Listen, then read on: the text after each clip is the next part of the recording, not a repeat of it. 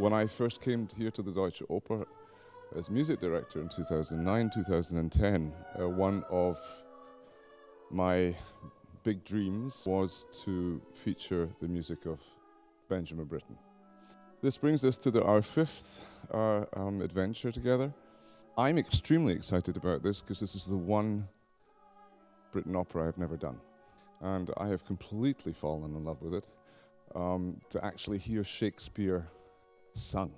Benjamin Britten had such uh, love and respect uh, for the text. Um, it's the ideal opera.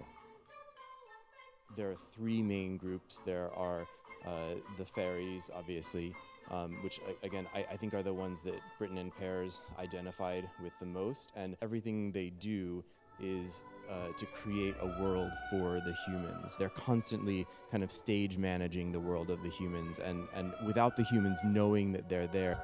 And and then we have the the mechanicals who are are somewhere in between.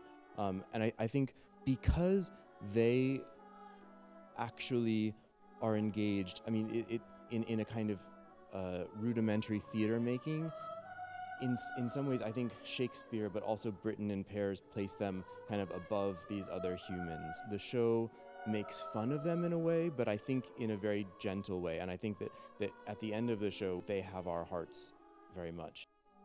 The world we created in order to, to put, put some of those ideas in, into a form, um, it's very abstracted um, and deliberately formal so, so that these, these three levels are, are quite visible. And then this, the stage, it's a, a large rake, it's a big open space, so it, becomes what we make of it. It's what you guys do. You know, it's, it's, it's music and text. Um, so, and I really love this piece. I hope you will too. So, thank you. Thank you all. See you soon.